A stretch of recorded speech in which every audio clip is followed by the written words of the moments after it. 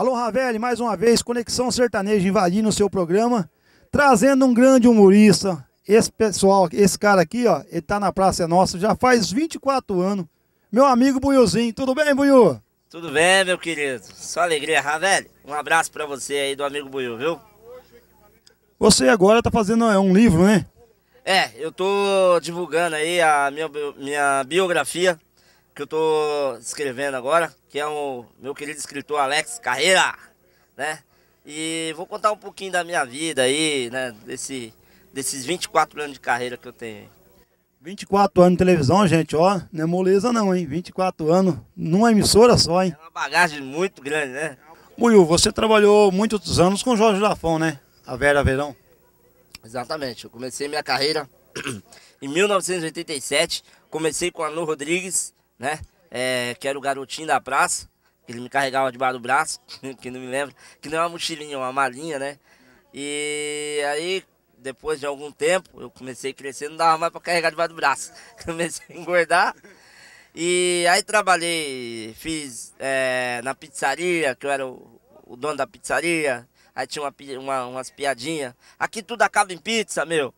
E aí sim, eu ganhei um presentaço. Para mim foi uma experiência muito grande, né?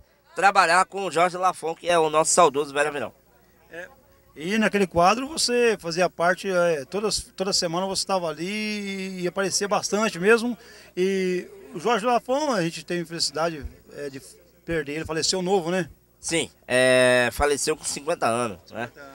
E então, eu na, na, Esse quadro da Velha Verão, o que, que eu era? Eu era uma espécie de chaveirinho dela. É, ela era muito ciumenta, entendeu? Então, aí a gente fazia aquelas. É, aquelas situações ali. E sempre que eu ia fazer alguma coisa que ela não gostasse, tipo, conquistar uma, uma menina ou fazer uma gracinha com uma menina, ela sempre, né? Cala a boca, azeitona, né? Aí ela me batia e eu caía no chão. E aí era assim, essas brincadeiras nossas. Você fazia o papel do azeitona, né? Isso, é azeitona na época. Mas esse quadro que você está agora é aquele que você fala traduzindo. Traduzindo.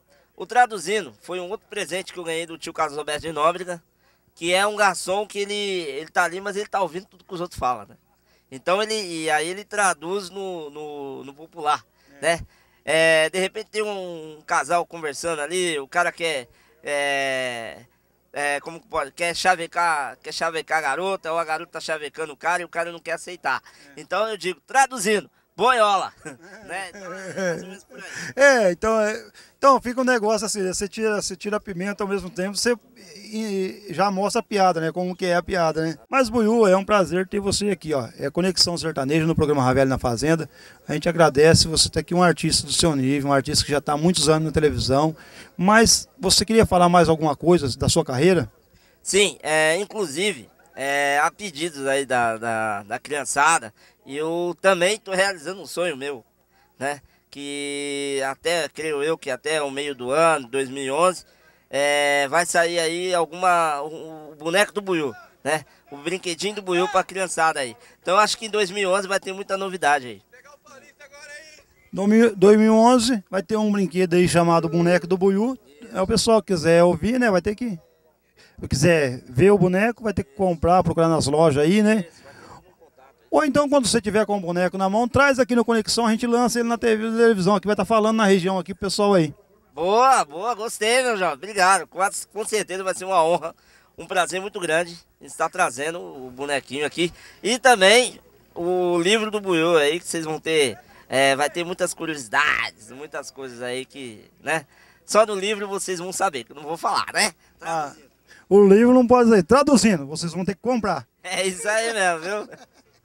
Legal, Buiu. Então, eu queria gostaria que você mandasse um abraço pro Ravel na Fazenda.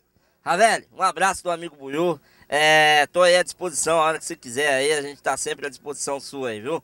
Muito obrigado pelo convite e tô aqui é, engrandecido aqui, muito feliz de estar aqui nessa fazenda linda e maravilhosa.